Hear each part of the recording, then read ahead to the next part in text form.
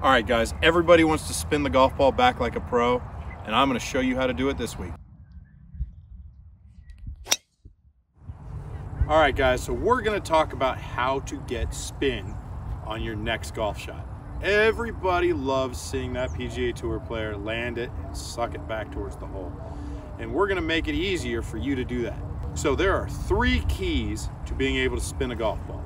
First is you have to get into a position where you have a clean club face and you are creating as much friction as possible. We are looking to create a big differential between our dynamic loft and our angle of attack into the golf ball. The third key is going to be the speed that we create during our golf swing. How do you create friction?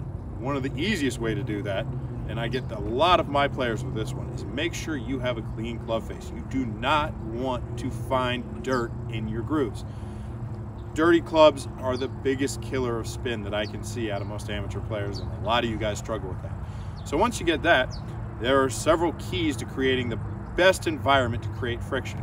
First of all, if you're playing on a rainy day, that water that gets between the club face and the golf ball is going to cut down on the amount of friction that you can get on the golf ball.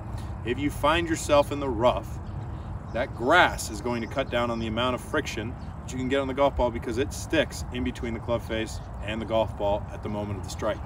Okay, so once you can get that understanding out of the way, just hit more fairways. That's the easiest way when you can get clean contact onto the golf ball every time to create as much spin as possible and create as much friction as possible. Now the second theory, right? The second key is creating a different a differential between the dynamic loft of the club, so the loft that you are getting at the moment of impact, and the angle of attack that the club is taking into a golf ball. So remember, a negative angle of attack is when the golf club is traveling down to the golf ball, right? So if you can get yourself hitting down on the golf ball with dynamic loft being more positive, you are going to create more spin. Now there's there's an end to that amount. You can't add too much to it because you start robbing yourself of friction. The more speed a player can put into their golf shot, the more spin they will create, okay? So a higher speed player who makes good solid contact will always create more spin than a lower speed player who makes the same contact. So those are the three keys that you really want to create more spin.